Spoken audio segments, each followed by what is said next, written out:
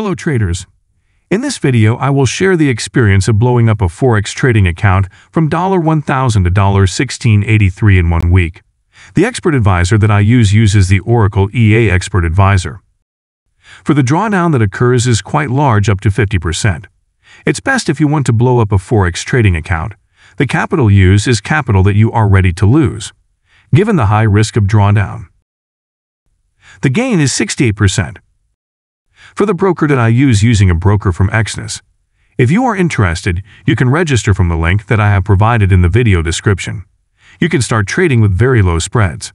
And for VPS, you could try a free VPS trial with very low latency specifications for trading execution speed. The free VPS link is in the video description. I run my trading from April 17, 2023. With a capital of $1,000 lots used one lot. From one lot, you can get $100 per transaction.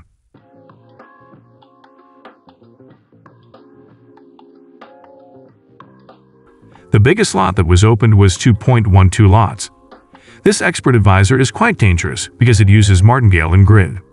You can see here the information on the results of Forex trading using Oracle EA with high risk and high return settings. Drawdown information. The largest drawdown in nominal USD is up to 840 USD. For preset settings, I will show you. I changed the lot size to 1. And change the daily target setting to 80, while the others I leave as default. If you want to try this setting, make sure you are ready with the risk.